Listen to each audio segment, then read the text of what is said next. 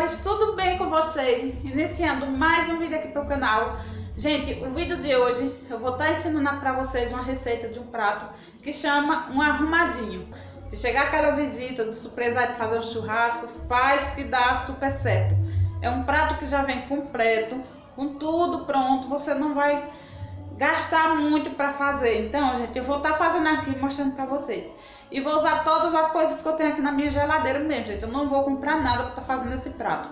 Mas fica um prato muito bom, muito saboroso, que dá para estar tá servindo aí no almoço ou um acompanhamento aí no churrasco. Fica a critério de vocês. É servido numa travessa só. Eu vou fazer, eu vou montar, vou mostrar para vocês tudo certinho como é que fica. Então, gente, mais antes de começar o vídeo, eu quero pedir para vocês. Gente, se inscreve aqui no canal, deixa o like aqui para ajudar divulgar o canal. Ativa o sininho de notificações quando eu postar o vídeo. O YouTube notifica para vocês. Então, gente, eu vou começar a minha receita aqui e vou gravar aqui tudo para vocês. Espero muito que vocês gostem de acompanhar aí. Gente, primeiro o que, é que eu vou fazer? Eu vou colocar o feijão no fogo. E o feijão que eu tô usando é feijão de corda seco.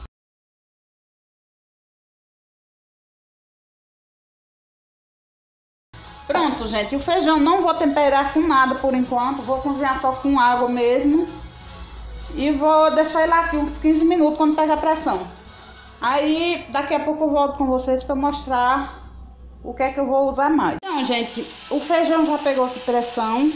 Aí agora eu já vou adiantando aqui o preparo da, das carnes, da mistura, né?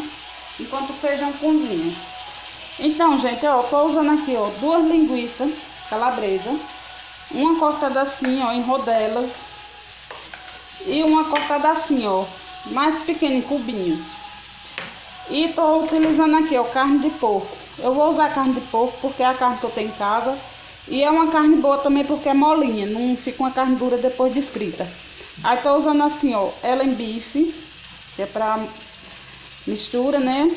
E tô usando ela assim também cortada em cubinhos.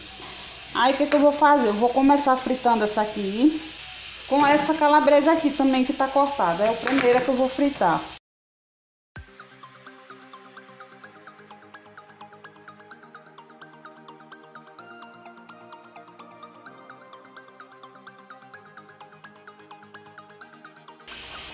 Então, gente, enquanto a carne vai fritando, aí eu já vou molhando aqui a massa do cuscuz.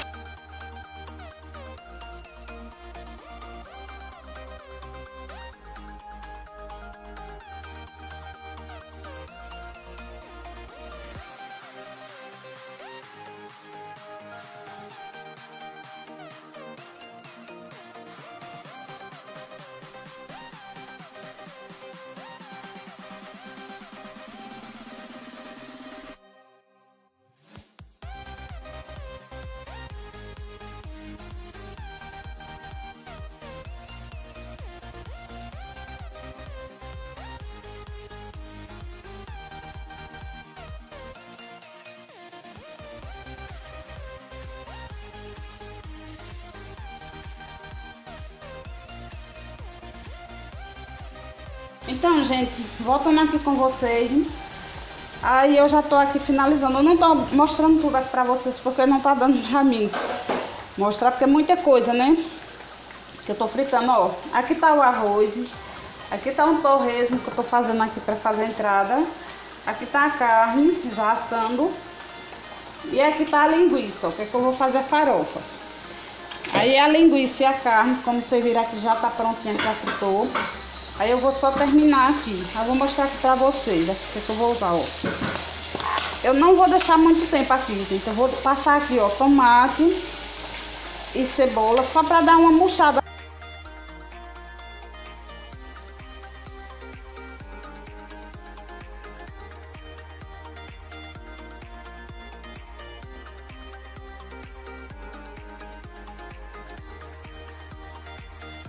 Então, gente, eu vou colocar um pouquinho de pimenta calabresa.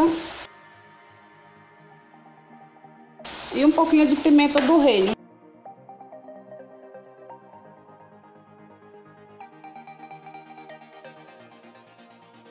Pronto, aí pra finalizar vou colocar aqui o coentro. E já vou desligar o fogo porque senão a tomate vai desmanchar.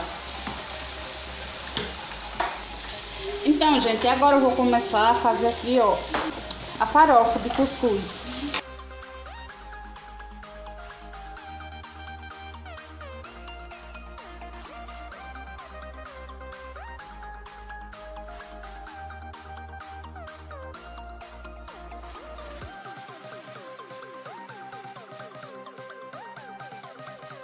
Então, gente, agora eu vou estar tá colocando o feijão. Eu não estou usando aquele feijão todo porque ele era muito.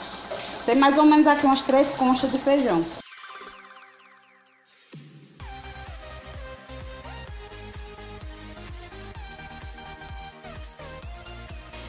Então, gente, vou montar aqui o prato para vocês verem. Só que eu não tenho uma marinex grande, que seria o ideal, o tamanho da minha, né? Mas vou montar mesmo assim aqui nela. O que é que eu tenho, né? Não vai caber nem meu feijão todo, mas também não tem problema não. Eu vou só fazer pra vocês terem, ver como é que fica.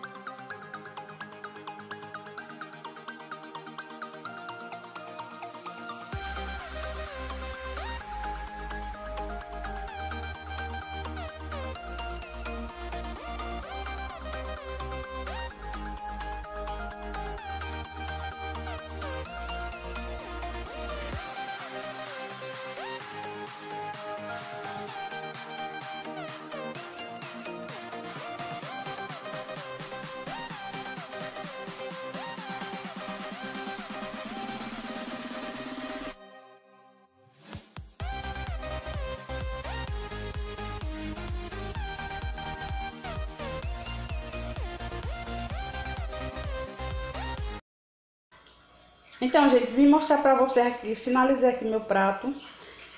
E como eu falei pra vocês, né, minha marinex é muito pequena, aí talvez uma forma maior aí, ou uma marinex maior, eu conseguiria ter armado esse prato melhor, né, com todas as comidas, que não coube, como viram. Mas pra servir pra três pessoas, dá com certeza. Então, deixa eu mostrar aqui pra vocês, ó. Aqui eu coloquei a, a salada, né, o torresmo, que é o, a entrada, aqui o limão para temperar o torresmo. Aí o acompanhamento aqui, que é a carne com a linguiça assada. E o feijão, né, que é o feijão tropeiro. Mas assim ficou o meu arrumadinho. Aí aqui também eu teria que colocar, ó, se fosse maior, me atravessa o arroz também. Era pra mim ter colocado tudo aqui. Mas não coube, eu coloquei aqui do lado, ó. Aí aqui eu tenho o arroz. Aí aqui tem a salada. Eu acompanho a entrada, né? Que é o torresmo com limão. O acompanhamento aqui. Aí era pra mim ter colocado a salada aqui dessa parte aqui, gente. Mas eu tive medo de a tomate ficar molhando a carne, né? Quando a gente for almoçar ficar ruim. Por isso que eu coloquei assim. Pra não ter contato, né? Do, da água que a tomate fica soltando e ficar molhando aqui a carne, porque senão ia ficar ruim, ó. E o feijão, mas então ficou assim, né?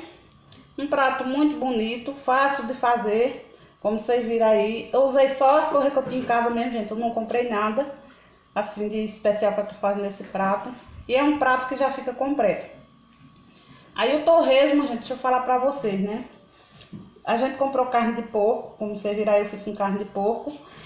Aí eu tirei o, o couro, da carne. Aí usei para estar tá fazendo torresmo.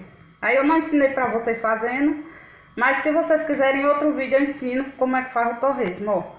Fica bem crocante aqui, ó, bem sequinho. Corta bem fininho o corinho do porco, ó, como tá, ó. Tá vendo? Aí corta bem fininho, bota pra assar no óleo.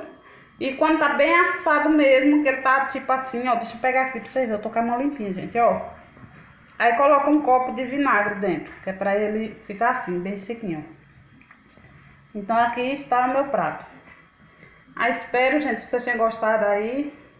Passar na casa de vocês, né, que é um prato, uma refeição muito deliciosa aí, pra estar tá servindo um, um almoço ou um churrasquinho, né, quando estiver fazendo um churrasco em casa. E fácil de fazer, rapidinho a gente prepara, ó.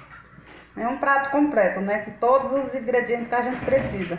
Para estar servindo no churrasco ou no almoço. Aí eu vou encerrar o vídeo também, espero que vocês tenham gostado. Não esquece de se inscrever no canal, gente, deixa o like aí que é para ajudar, ó. Ativa o sininho da notificação. Vou estar tá postando mais vídeos aqui para vocês, ó. Espero que vocês tenham gostado. Tchau e até os próximos vídeos.